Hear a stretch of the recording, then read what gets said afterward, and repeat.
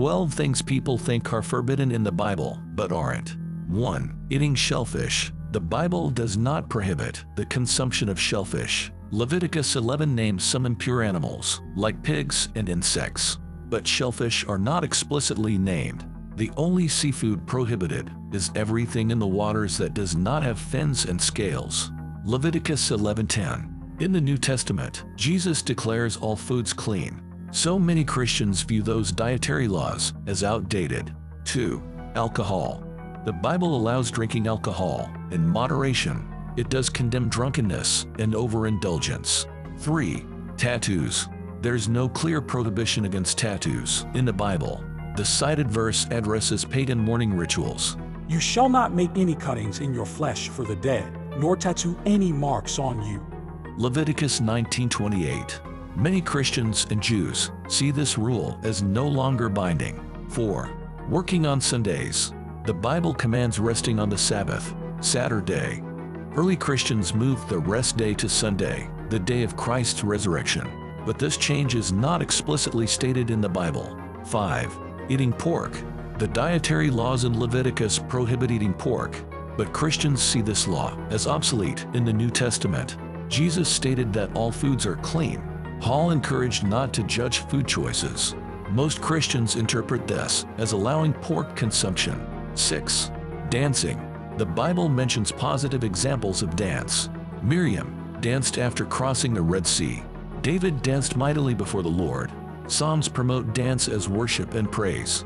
However, one form of dance is condemned. In Galatians chapter 5 verses 19 to 21, Paul lists out works of the flesh that Christians should avoid. Included in this list is the Greek word komos. It is sometimes translated as revelries. This term means wild immoral parties. So lewd sensual dancing is prohibited. 7. Birth control. The Bible does not directly address contraceptives. Some interpret God's command to be fruitful and multiply as prohibiting birth control, but most Christians believe family planning is a personal choice. 8. Divorce. The Bible frowns upon divorce. However, exceptions are made. The New Testament permits it if one spouse abandons or cheats on the other. 9. Interracial marriage. The Bible doesn't ban interracial marriage. The verses cited relate to specific situations, not a general ban. The Canaanite rule aimed to avoid pagan influences.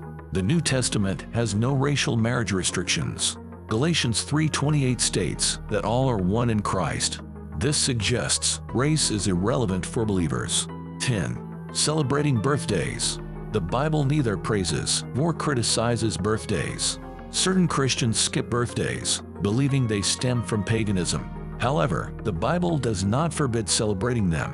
11. Playing games and sports.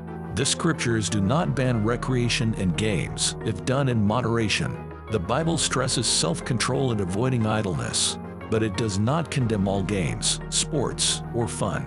12. Lending money with interest. The scripture does not forbid all lending with interest. Prohibitions were against charging interest to poor Israelites, but interest on business loans was permitted.